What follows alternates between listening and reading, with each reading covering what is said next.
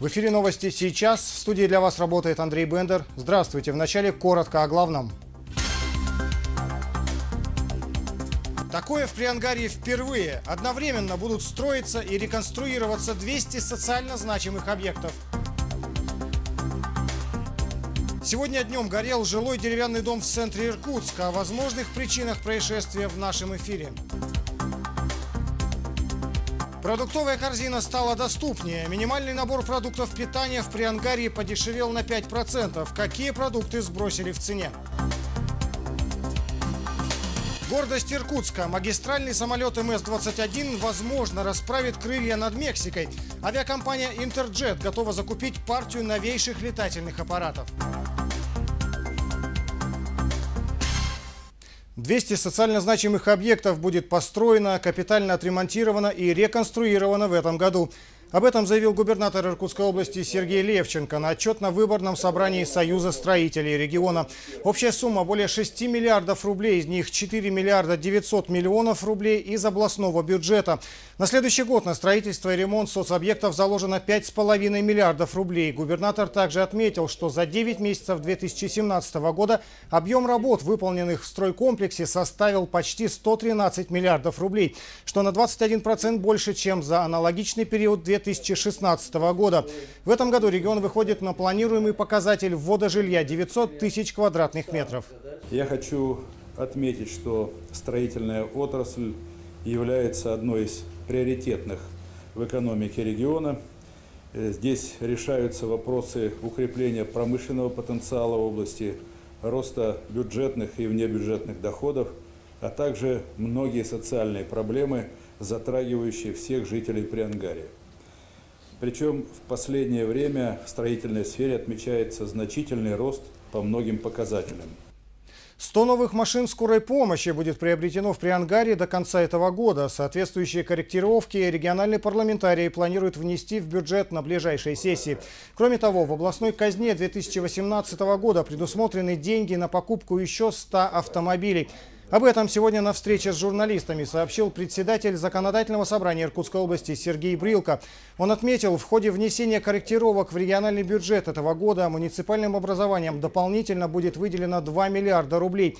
Полмиллиарда рублей будет добавлено на поддержку сельского хозяйства. Внесены изменения и в устав Иркутской области. Они направлены на то, чтобы сделать систему мер социальной поддержки более понятной и предсказуемой. Все э меры социальной поддержки, которые принимаются в Иркутской области, они будут приниматься законами Иркутской области. Идем э, по принципу, образу, подобию, э, как действует Государственная Дума Российской Федерации. Естественно, жизнь на этом не останавливается до принятия законов, значит, нормативными правовыми актами губернатора, правительства Иркутской области такие нормы социальной поддержки могут быть введены. Но в последующем это все э, форматируется в виде закона и принимается закон Иркутской области. Сейчас региональные парламентарии ведут работу над бюджетом области на ближайшие три года. Так, на программу народной инициативы дополнительно будет выделено 150 миллионов рублей. Таким образом, ее финансовое обеспечение составит 650 миллионов рублей. По словам спикера регионального парламента Сергея Брилки, сейчас именно эта программа охватывает все муниципалитеты при Ангаре. Чего не скажешь о программе формирования комфортной городской среды. Она действует только в 15 территориях. Однако в следующем году предполагается увеличить количество муниципальных образований, включенных в программу, как минимум в три раза. В Иркутской области минимальный набор продуктов питания подешевел более чем на 5%. Продуктовая корзина теперь стоит 3839 рублей. Это на 213 рублей меньше по сравнению с прошлым месяцем. Для сравнения, в Приангарии стоимость набора ниже, чем в Новосибирской области, Республике Алтай, Красноярском и Забайкальском краях. Из продуктов питания, входящих в него, цена упала на картофель, морковь, сахар, яблоки и маргарин.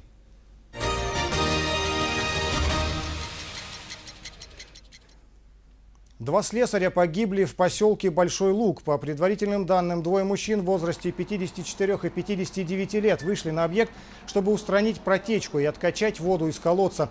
Один из них спустился вниз. На дне находился углекислый газ. Мужчине стало плохо, и за ним спустился напарник. Выбраться рабочие не смогли. Тела погибших обнаружили спустя три часа. Следователи начали проверку, изъятые документы опрашивают очевидцев. Накануне в обед я как раз с отцом разговаривала, он говорит, там, говорит, что-то, говорит, э, доча, говорит, мне некогда, там что-то труба, трубу, говорит, прорвала, говорит, надо, говорит, ехать помочь нам, говорит, напарнику. Ну, вот так. Мы, конечно, хотим, чтобы это разобрались, это, в этой халатности, конечно, с, с привлечением ответственности, прокуратуры, то есть, и чтобы было все наказуемо. Все обслуживание колонок всего Большого Луга держалось на этих двух людях – а над ними было три начальника в этой организации.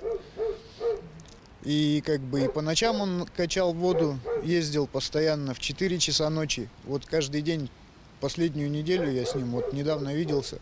Каждую ночь он ездил в 4 утра, качал воду, чтобы селяне, ну, односельчане не были без воды. Движение для большегрузных машин ограничили на трассе Усть-Илимск-Братск. Как сообщает в МЧС при Байкале, это связано с гололедом на дороге. Водители некоторых авто, как на этом снимке, не справляются с управлением на скользкой дороге. Решение частично ограничить автомобильный поток принято в 7 часов утра. Почти сразу же начались работы по отсыпке и очистке дорожного полотна от наледи. Скопления автотранспорта нет, говорится на сайте ведомства. Тем не менее, специалисты призывают автомобилистов быть предельно внимательными на дорогах, избегать избегать превышения скорости, соблюдать безопасную дистанцию. Пожар в центре Иркутска на улице Рабочая. Загорелся двухэтажный жилой дом. Огонь вспыхнул около трех часов дня на втором этаже. В этот момент в здании находились 14 человек. До приезда пожарных люди самостоятельно покинули свои квартиры. На ликвидацию возгорания у специалистов ушло более часа. Тушение затрудняли пустоты в стенах. Э, владельцы квартир уверены, это поджог. Виновница, одна из жительниц, по их словам, с утра женщина уже поджигала матрас, его вовремя потушили. Однако позже дом снова загорелся, но уже в другом месте. Потух свет. И соседка мне пришла в дверь, стучит. Горим. Ну, все. Побежали, хотели ведрами заливать, а на второй этаж уже было не забраться. Дым сильный был? Сильный, да. Утром она свою квартиру подожгла. Приезжали э, эти пожарные. А вот часа через три тут площадку подожгла. С подозреваемой в поджоге сейчас работают полицейские. Для того, чтобы люди вовремя туше... во время тушения пожара не замерзли на улице, им предоставили автобус. Жертв и пострадавших нет.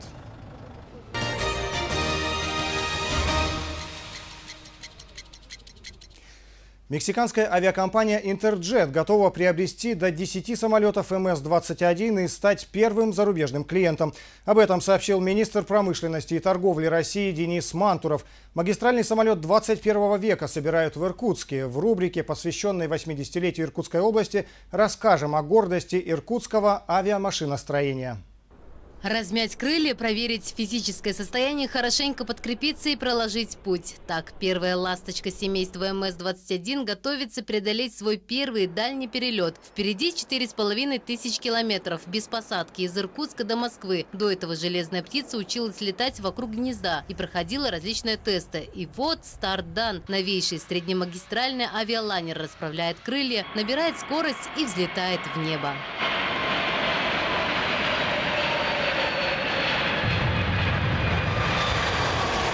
МС-21 – это будущее российской авиации, гордость иркутского авиамашиностроения. Лайнер мечты, как его еще называют, составит конкуренцию Боингу и Airbus. Для улучшения аэродинамики было использовано минимальное количество композитных материалов. Это делает самолет значительно легче. Новый двигатель уменьшает расход топлива, снижает уровень шума и выброс вредных веществ. Комфортно будет и пассажирам. В зависимости от модификации в салоне до 211 мест. Расширенный проход, увеличенная пространство пассажиров, сидящих у окна.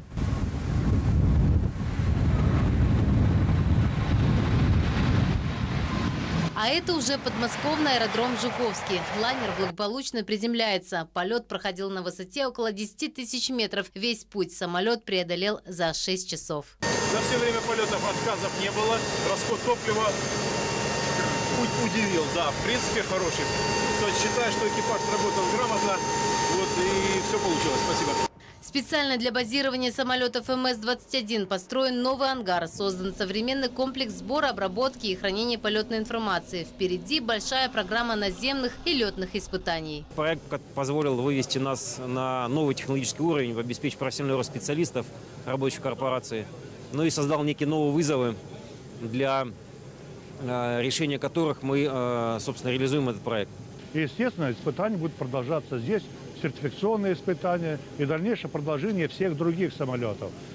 Это 21-21, второй летный самолет, третий летный самолет и четвертый летный самолет. Все будут на Жуковском земле.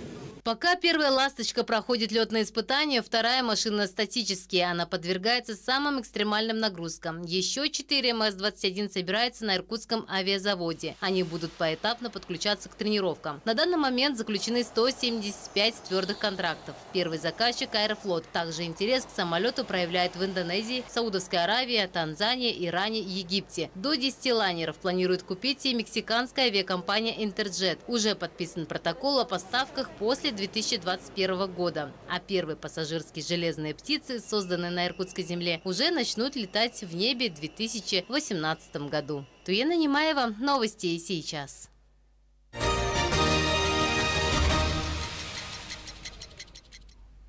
Более 74 тысяч сайтов с запрещенной информацией были заблокированы в этом году. Это в три раза больше по сравнению с 2015 годом. Об этом рассказал руководитель управления Роскомнадзора по Иркутской области Сергей Костолов, подводя итоги работы с начала года. В этом году в единый реестр запрещенных сайтов по решению суда внесли более 9 тысяч веб-сервисов с детской порнографией, более 13 тысяч по торговле наркотиков в сети интернет. Большая работа была проведена и по профилактике суицида. Если в прошлом году заблокировали около 700 сайтов, то в 2017 году более 5000. То есть и вот этот момент по синим китам и так далее, все уже пошла работа по Следственного комитета, да, и ловятся люди, которые это работают, да. И вы видите, что 200 и 5107 закрытия сайтов, ну это же показатель реально. То есть блокируется та негативная информация, которая действительно влияет на, на ребенка, понимаете. Но это результат, это очень хороший результат, я считаю. Также были заблокированы ресурсы за незаконное распространение и продажу алкоголя, удочек, дипломов и сертификатов. Всего за год в ведомство поступило более 900 жалоб, в основном по защите персональных данных, незаконное размещение фотографий и информации в социальных сетях. Новые правила благоустройства города разработаны администрацией Иркутска. В 10 разделах свода содержатся требования к облику всего областного центра. Этот вопрос сегодня обсуждался на заседании городской думы. Впервые правила регламентированы и к фасадам зданий. Так, например, не допускается фрагментарная отделка и организация без согласования входных групп. Кроме этого, администрация разместит графические рекомендации по внешнему виду нестационарных торговых объектов и остановок. У предпринимателя будет время для приведения зданий и вывесок новым стандартам. Для этого будет введен переходный период. Собственники зданий обязаны оформить паспорта фасадов. Правила вступят в силу 1 ноября. Мы пришли, подошли полностью к благоустройству дворовых территорий в огромных объемах общественных пространств. И поэтому требования и к содержанию всего города, требования к облику эстетического города должны быть заложены в первую очередь в правила благоустройства. Депутаты одобрили введение новых правил. Награды за помощь к подготовке школ к началу учебного года получили 82 родителя. Благодарственные письма вручил мэр города Иркутска Дмитрий Берников на общегородском родительском собрании. Родители, педагоги и директора учебных учреждений обсудили важные школьные вопросы. Среди них патриотическое воспитание маленьких иркутян, оценка качества образования в областном центре. Хочу вас поблагодарить сразу же за то, что вы нашли время собраться на это совещание, собрание, на эту беседу, такой некий отчет и корректировку планов, которые ждут нас впереди во время учебного года нас. Я умышленно говорю, использую это слово, потому что я тоже отец и тоже озабочен не меньше кого-либо из вас тем, что происходит в нашей системе образования. На родительском собрании Дмитрий Берников также рассказал о строительстве учебных заведений в областном центре. В этом году в Ленинском и Октябрьском округах построены два новых корпуса 64 и 66 школ. Открыта самая большая в Приангаре школа номер 69. Активно ведется строительство школы номер 19 в Академгородке. А далее программа «Иркутск сегодня». В этом выпуске расскажем, когда начнется благоустройство берега реки Ушаковки, сколько улиц заасфальтировано в частном секторе правобережного округа.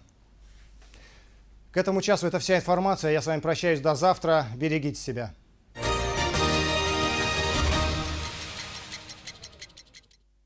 Знакомьтесь, друзья, вот Валентин. Ему очень грустно, он снова один. Убед его многим знакомая причина. Он много времени проводит с машиной. Продолжим знакомство. Это Семен. В фильтре машину обслуживает он. С девушкой любовь интереснее мужчины, чем ночевать в гараже с машиной. В «Лебедушках» более 200 видов одеял от 399 рублей и подушек от 199. Магазины «Лебедушка» в торговых центрах «Пассаж» и «Мельниковский».